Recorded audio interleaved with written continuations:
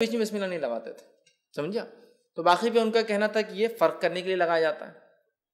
لیکن ایسی کچھ روایتیں ملتی، جیسے کہ حدیث کے اندر آتا ہے، نبی اکرم صلی اللہ علیہ وسلم فرمایا، صحیح مسلم کی روایت آپ نے فرمایا، مجھ پر ابھی ایک صورت نازل ہوئی۔ صحابہ بیٹھے تھے، صحابہ نے کہا، کون سی صورت؟